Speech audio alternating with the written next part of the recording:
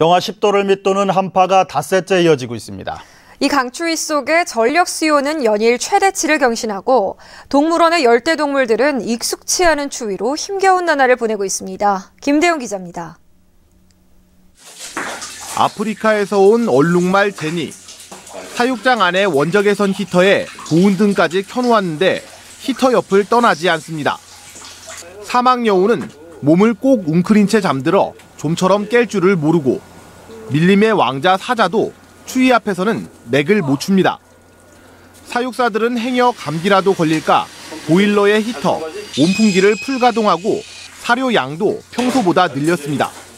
동상 걸릴 수도 있고 감기에 걸릴 수도 있기 때문에 어, 아예 내놓지 않는 동물이 있고 또 낮에 잠깐 따뜻할 때 한두 시간씩만 내놓는 경우도 있고 그렇습니다.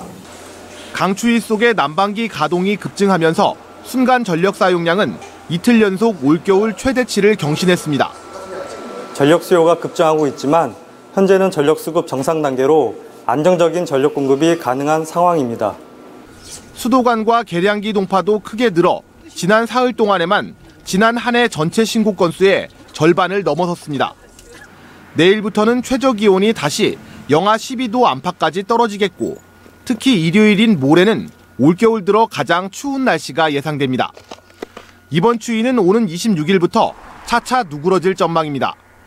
MBC 뉴스 김대웅입니다.